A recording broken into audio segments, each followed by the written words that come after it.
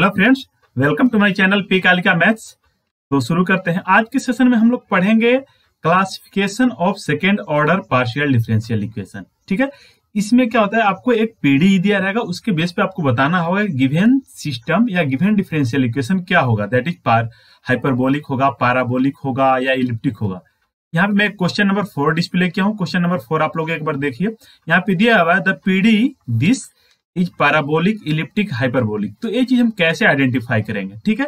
तो हम वो चीज़ यहाँ पे करेंगे, आज के पेपर में डिस्कशन करने वाले हैं। ओके इसमें ये जो क्वेश्चन है गेट 2019 का क्वेश्चन है। ठीक है? ऐसे बहुत सारे क्वेश्चन जैसे यार नेट गेट सेट में पूछे हुए थे ये आपके लिए बहुत इंपॉर्टेंट है, इस कंसेप्ट को अच्छे समझिएगा। अब विद इन टेन मिनट इस पूरे कंसेप्ट को रिवीजन कर सकते हैं। तो लास्ट तक इस वीडियो को देखिएगा। मैं बहुत सारा प्रॉब्लम भी आपको देने वाला हूँ, इससे रिलेटेड जो नेट या गेट में पूछा हुआ है। तो पहले हम जनरल स्ट्रक्चर देख लेते हैं कि सेकेंड ऑर्डर लिनियर पीडी का या फिर सेमी लिनियर पीडी का स्ट्रक्चर किस टाइप से होता है। इसका स्ट्रक्चर होता है A U X X B U X Y C U Y Y D U X E U Y F Y and F U and G X Y ठीक है? ये आपको थोड़ा सा याद रखने में मुश्किल हो सकता है बट ये ना आप एक दो प्रॉब्लम करेंगे ना तो आपको ऑटोमेटिकली याद हो जाएगा, कुछ नहीं है। A times U X X plus B U X Y plus C इस टाइप से दिया रहता है ओके जहाँ पे A B C D E और एफ़ ये या तो कांस्टेंट होंगे, या फिर ए एक्स और वाई के फ़ंक्शंस होंगे, ठीक है? मतलब कंटिन्यूस फ़ंक्शन ओके तो वो बाय डिफ़ॉल्ट होता ही है, उतना गिवन रहता है अंडरस्टूड रहता है। ओके साथ में इसमें कंडीशन क्या है कि A square plus B square plus C square A not equal to zero होना चाहिए। ठीक है? तो नंबर के केस में तो नो डाउट कोई भी नंबर लो, अगर नॉन ज़ीरो नंबर एबीसी हुआ तो उनका स्क्वायर कभी भी तो ज़ीरो होगा नहीं।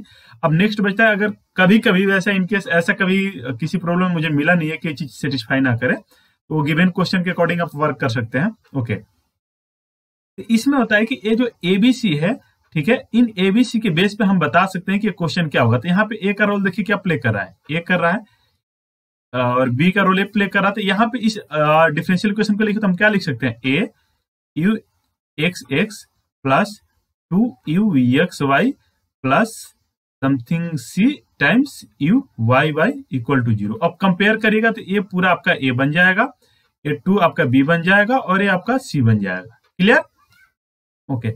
इवन तो जब कभी कभी लंबा इक्वेशन देना तो आपको उसके लिए भी मैं ट्रिक बता दे रहा हूँ। देखिए, आपको मेनली किसका काम पड़ रहा है? ए बी और सी मैंने जो बताया, इसमें आपको सिर्फ़ ए बी और सी पे कैलकुलेशन करके आप इस सिस्टम का इस डिफरेंशियल इक्वेशन का नेचर बता सकते हैं कि पाराबोलिक हाइपरबोलिक या इलिप्टिक जो भी होगा। इसमें आपका इस, इन चारों का काम नहीं पड़ रहा है। तो फिर आप क्या करें, इन चारों को मिला के एक अलग बना दीजिए फ़ंक्शन एक्चुअली हम लोग यू एक्स को क्या लिखते हैं? पी लिखते हैं। यू वाई को क्या लिखते हैं? क्यू लिखते हैं। ये देखिए डी टाइम्स पी हो गया ई टाइम्स क्यू हो गया plus F U plus G तो इस पूरे को हम लोग एक फ़ंक्शन मान लेते हैं एक्स वाई यू और पी क्यू का जिसको मैंने यहाँ पे रिप्रेजेंट कर दिया। ठीक है? अब ये बन गया second second order semi linear PD ठीक है? एनीवे anyway, उसको छोड़िए। तो आपको क्या करना है? मेनली इस ए बी सी पर कॉन्सेंट्रेट करना। बाकी क्या दिया है क्या नहीं दिया है उससे अपने को कोई फ़र्क नहीं पड़ेगा। तो आपको क्या करना है? एक छोटा सा कैलकुलेशन करना है एबीसी में। वो रिलेशन में यहाँ पे शो करता हूँ। B square minus four A C ठीक है? तो वहाँ से एबीसी निकल गया, उस एबीसी से आप निकालिए B square minus four A C ठीक है? अब ए या तो पॉजिटिव होगा लॉ ऑफ़ ट्रिकोटोमी से क्या होगा? या तो पॉजिटिव होगा या इक्वल टू ज़ीरो होगा या लेस देन ज़ीरो होगा। तीन पॉसिबल केसेज हैं इसके? इसके अलावा तो कुछ नहीं होगा। ओके जब ए पॉजिटिव होगा ठीक है, जब ये पॉजिटिव होगा, उस केस में हमारा डिफरेंशियल इक्वेशन क्या बन जाएगा? हाइपरबोलिक बन जाएगा। और जब ये इक्वल टू ज़ीरो होगा, उस केस में हमारा डिफरेंशियल इक्वेशन पैराबोलिक बन जाएगा। एंड लास्ट में जब ये निगेटिव होगा, तब हमारा डिफरेंशियल इक्वेशन क्या बन जाएगा?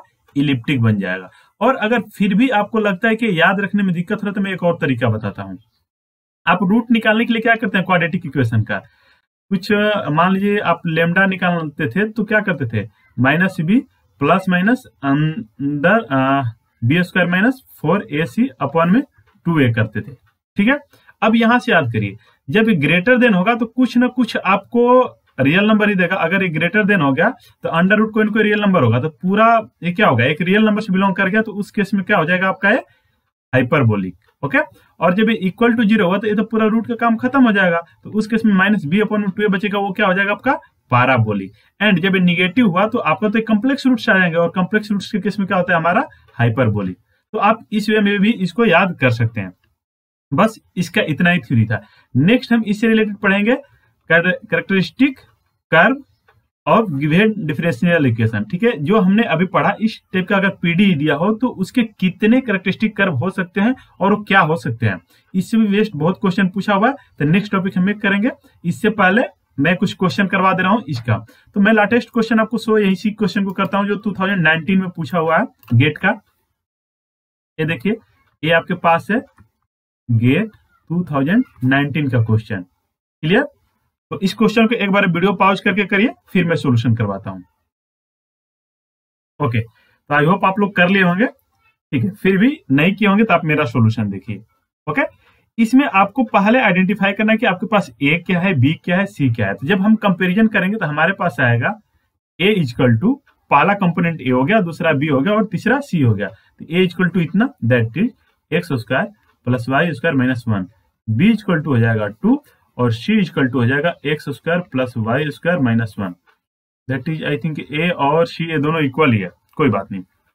Okay okay. अब हमें निकालना है B square minus four A C तो बी स्क्वायर तो हो जाएगा आपको फोर माइनस फोर टाइम्स अच्छा ए और सी इक्वल है। देखिए तो X square plus Y square minus one X square plus Y square minus one that is इसी का होल स्क्वायर कर देते हैं तो ए हो जाएगा X square plus Y square minus one का होल स्क्वायर ओके दोनों में फोर कॉमन है। मैंने फोर को बाहर ले लिया। ठीक है? तो फोर को बाहर ले लिया तो ये हो जाएगा one minus X square plus Y square minus one का होल स्क्वायर ये चीज़ हो जाएगा। क्लियर ओके अब यहाँ से आपको ये देख लेना है कब ज़ीरो होगा। कब लेस देन होगा, कब ग्रेटर देन होगा। ठीक है। तो अब यहाँ से ग्रेटर देन कब होगा? तो मैं वन बाई वन केस करता हूँ। पहला केस लीजिए। पहला ऑप्शन ही ले लीजिए। ठीक है? या जो भी तीनों केस आप इसमें डिस्कस कर सकते हैं। तो पाराबोलिक या हाइपरबोलिक जो भी लीजिए तो इसको एक बार देखिए ग्रेटर देन ज़ीरो एक बार इक्वल टू ज़ीरो और less than zero equal to zero हो जाएगा तो क्या हो जाएगा उस केस में हमारा? पाराबोलिक अब चलिए हम फ़र्स्ट ऑप्शन करते हैं। ठीक है, यहाँ पे क्या कर रहा है X square plus Y square is greater than two ठीक है? तो आप इस कंपोनेंट को क्या करिए टू से बड़ा ले लीजिए, कुछ भी ले लीजिए। तो अगर आप नंबर से भी देखना चाहते हैं तो यहाँ से सिंपली देखिए, आपका क्या हो जाएगा टू से बड़ा कुछ भी लेंगे तो ये पूरा कंपोनेंट वन से बड़ा हो जाएगा, ठीक है? क्योंकि टू मान लीजिए आप थ्री ही मान ले रहे हैं, ठीक है? तो थ्री माइनस वन क्या होगा टू हो जाएगा टू का स्क्वायर फोर हो जाएगा तो वन माइनस फोर क्या हुआ?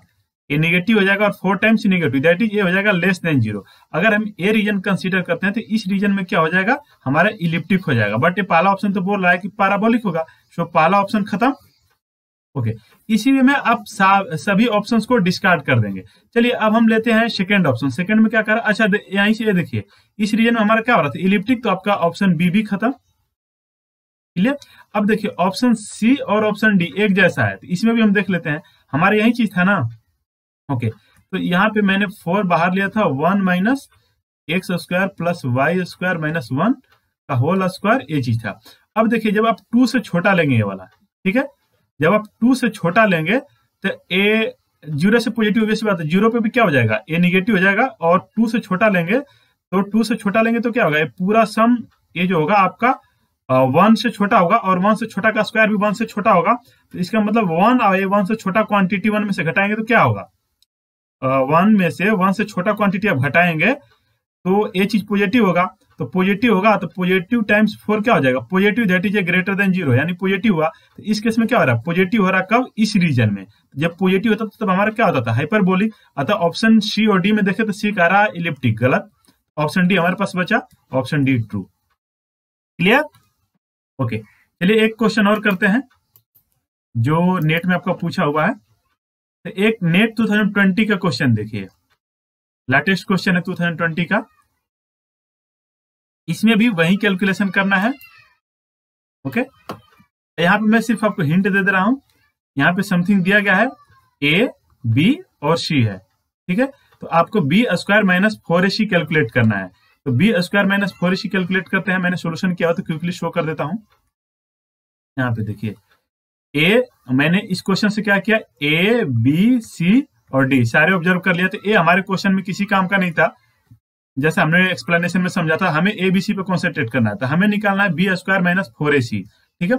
B square minus four A C हमने निकाल दिया। Okay B square minus four A C निकाला। तो यहाँ से हमारे पास बी स्क्वायर तो निकाल लिया। और पी क्यू हमें कुछ गिवन था, जो भी था। ठीक है? एक पोलिनोमियल था। ये हमने पूरा ले लिया। अब हम ऑप्शन चेक करते हैं वन बाई वन जैसे हमने जस्ट पीछे वाला किया। तो अब यहाँ से देखिए कि हमारे पास B square minus four A C इतना था। हमें पता है कि यहाँ से देखिए, चारों ऑप्शन में क्या है? R greater than above like there exist, r positive, such that the given pd is, okay, parabolic, hyperbolic, elliptic, okay, in the r positive के केस में निगेटिव के केस में पॉजिटिव के केस में निगेटिव के केस में okay okay. तो आपका option first second and third तीनों में आर पॉजिटिव ले रहा है और चौथे में निगेटिव ले रहा है। ओके कोई बात नहीं, करते हैं। यहाँ से देखिए, जब हम, हमें, जब ए जब फ़र्स्ट सेकंड थर्ड ऑप्शन लेंगे तो उसमें क्या X square plus Y square R से ग्रेटर देन है। इसका मतलब दोनों तरफ़ एक्सपोनेंशियल लेंगे तो क्या होगा? ई के power to X square minus Y square greater than हो जाएगा। ई के पावर टू आर से मैंने क्या किया? पहले यहाँ पे ई लगाया ठीक है? या फिर यहाँ पे आप लगाने के वजह इसमें दोनों तरफ़ मैंने क्या किया? टू से मल्टीप्लाई कर दिया, ठीक है? फिर ई ले लिया। तो ई ले लिया तो हमारे पास एक कंपोनेंट बन गया और एक्सपोनेंशियल ऑलवेज पॉजिटिव होता है। जब आर पॉजिटिव है निगेटिव कोई फ़र्क नहीं पड़ता एक्सपोनेंशियल ऑलवेज पॉजिटिव होगा, ठीक है? और ये डिफरेंस इसका मतलब डिफरेंस क्या हो जाएगा? ऑलवेज पॉजिटिव हो जाएगा, ठीक है? तो ये ऑलवेज पॉजिटिव हो जाएगा मतलब इस केस में हमारा क्या हो जाएगा? हाइपरबोलिक हो जाएगा ओके तो पहला, दूसरा और तीसरा केस में देखिए। हाइपरबोलिक किसमें हो रहा है? सेकेंड में हो रहा है तो इसके अकॉर्डिंग आपका सेकेंड ऑप्शन ट्रू होना चाहिए। ओके अब लास्ट ऑप्शन की बात कर लेते हैं लास्ट लास्ट ऑप्शन में क्या था? ये लेस देन था तो लेस देन के केस में क्या हो जाएगा? हमारा निगेटिव हो जाएगा B square minus four C और निगेटिव के केस में क्या होता है हमारे? इलेप्टिक ठीक है? तो जब निगेटिव होता है, तब हमारे इलिप्टिक होता है तो फोर्थ में क्या कह रहा है कि जब लेस देन के केस में हाइपरबोलिक होगा तो यहाँ से ये गलत हो गया। ओके तो इस टाइप से और भी एक क्वेश्चन में डिस्प्ले कर रहा हूँ टू थाउज़ेंड सेवेंटीन में पूछा था। क्विक रिव्यू करते हैं एरिया ठीक है? इसमें क्या कह रहा है? आपको इनसाइड ए यूनिट सर्कल आपको बताना है कि गिवन डिफरेंशियल इक्वेशन हाइपरबोलिक होगा पैराबोलिक होगा या क्या होगा?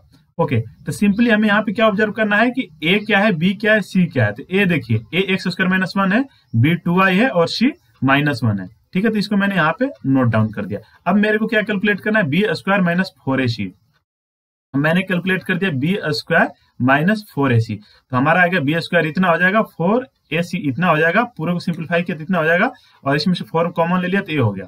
अब देखिए ए इक्वल टू ज़ीरो कब होगा? जब x square plus y square equal to one हो तो उस केस में क्या हो जाएगा? इक्वल टू ज़ीरो मतलब हाइपर पाराबोलिक पाराबोलिक का हुआ जब ए पूरा इक्वल टू वन जब ए पूरा कंपोनेंट इक्वल टू वन हो दैट इज़ पूरा ज़ीरो हो जाए। तो तीनों केस मैंने ले लिया कि जब ए पॉजिटिव होगा तो क्या हो जाएगा? पूरा कंपोनेंट पॉजिटिव होगा, तब हाइपरबोलिक बन जाएगा। और जब ए कंपोनेंट आपका इक्वल टू वन होगा, तभी क्या? पैराबोलिक बन जाएगा। और जब लेस देन वन होगा तो पूरा कंपोनेंट निगेटिव हो जाएगा तो ये आपका इलिप्टिक बन जाएगा। अब हमें सभी केस में क्या दिया? यूनिट डिस्क दिया हुआ था। तो जब यूनिट डिस्क लेंगे तो इसमें क्या होगा? हमारा ए जो x square plus y square है यूनिट डिस्क के अंदर तो लेस देन इक्वल टू हो जाएगा।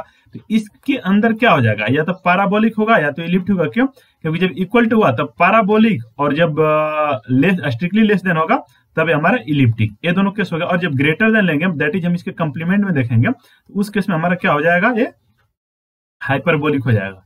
ठीक है? तो इस तरह हमारा ऑप्शन देख लीजिए। यहाँ पे जो भी है तो मैंने यहाँ पे क्लियर कर रखा है कि हमारा थर्ड ऑप्शन ट्रू होगा। ठीक है? थर्ड हमारा क्या था? हाइपरबोलिक होगा डी कंप्लीमेंट में। क्लियरली हमने यहाँ पे सोल्व कर दिया। थी आई थिंक ये चीज़ आपको समझ में आ गया होगा। तो ये लास्ट क्वेश्चन एबीसीएसआई नेट का पूछा हुआ है। ओके ये आपका होमवर्क रहेगा। वीडियो पॉज करके इसको अभी सोल्व करिए। और देखिए, मैंने आंसर भी मार्क कर रखा है। तो क्या आपका third fourth second third fourth आपका करेक्ट आंसर आ रहा है? ओके ठीक है। अब नेक्स्ट आपका जो बहुत इंपॉर्टेंट है, जो आपके पीडी से पूछता है, ठीक है? वो है कैरेक्टरिस्टिक रूट के बारे में जो आपके एग्ज़ाम में काफ़ी पूछा हुआ है, ठीक है। तो अब हम देखेंगे कैरेक्टरिस्टिक रूट क्या होता है इलिप्टिक या पैराबोलिक या हाइपरबोलिक के केस में, और टोटल कितने होंगे। ओके तो यहाँ पे देखिए, मैंने कैरेक्टरिस्टिक रूट के बारे में डिस्कशन कर रखा है। हम इसी का, जो अभी जस्ट पहले हमने डिस्कशन किया ए टाइम्स इतना बी टाइम्स इतना सी टाइम्स इतना है पूरा को हमने एफ़ मान लिया था। तो इसको क्या करिए, आप एक इसका जो कैरेक्टरिस्टिक रूट निकालना होगा तो मैंने आपको शुरू में बताया होगा, पीछे के लेक्चर आप देखे होंगे तो मैंने बोला था कि dx को आप लेमडा मान लीजिएगा, dy को वन मान लीजिएगा। तो इस वे में आपको सोल्व करना होता है। ओके तो यहाँ से आप सोल्व करने के लिए क्या लिखेंगे? इसको मैं अगर एक लाइन में बताऊँ, ये देखिए ए टाइम्स इसको आपको ऐसे समझना है डीएक्स का whole square plus b times d x d y plus c times d y square equal to a f है। क्लियर अब डीएस को आप लेमडा रखिए तो क्या बन जाएगा? A times lambda square plus b times lambda ये हो गया और प्लस सी टाइम्स क्या जब मैंने dx को लेमडा और dy को वन रखा तो यहाँ से करेक्टरिस्टिक रूट निकालने का आपको तरीका पता चलेगा कि हमारा करेक्टरिस्टिक रूट क्या होगा। ओके ठीक है। तो करेक्टरिस्टिक रूट निकालने के बाद आपको एक सॉरी करेक्टरिस्टिक इक्वेशन निकलेगा और करेक्टरिस्टिक इक्वेशन के करस्पॉन्डिंग हमें करेक्टरिस्टिक रूट निकालना होगा, जैसे हम लोग लिनियर अलजबरा में किया करते थे। लिनियर अलजबरा में अगर ए निकल गया तो इसका रूट निकालिए, जो रूट निकलेगा वही होगा आपका करेक्टरिस्टिक रूट और उस करेक्टरिस्टिक रूट के अकॉर्डिंग हमें करेक्टरिस्टिक कर फाइंड आउट करना होता है। क्लियर ओके अब नेक्स्ट हम बढ़ते हैं। तो देखिए रूट निकालने का सिंपल सा है, जो मैंने थोड़ा देर पहले डिस्कशन किया था कि minus b plus minus b square minus four upon two है। तो यहाँ से आपको दो डिस्टिंक्ट भी हो सकता है, दो सेम भी हो, अगर ये ज़ीरो हुआ तो अब वही तीनों केस फिर से हम लेंगे। ठीक है। अगर देखिए ए ग्रेटर देन ज़ीरो हुआ तो दो रियल रूट डिफरेंट मिलेंगे। तो उसका हाइपरबोलिक के केस में क्या होगा? टू करेक्टरिस्टिक कर्व हो जाएगा। और अगर इक्वल टू ज़ीरो हुआ तब पाराबोलिक हो जाएगा तो उस केस में खत्म हो जाएगा काम तो उस केस में एक होगा, और जब लेस देन हुआ, तब क्या हो जाएगा? हमारा कम्प्लेक्स मिलेगा रूट ना तो कम्प्लेक्स मिलेगा तो कम्प्लेक्स के केस में क्या हो जाएगा? दैट इज़ इलिप्टिक के केस में नो करेक्टरिस्टिक कर्व ओके तो ऐसा ही क्वेश्चन एक पूछा हुआ आपके गेट में 2018 में। तो उस क्वेश्चन को करते हैं। आई होप ये थ्योरी आपको क्लियर हो गया होगा।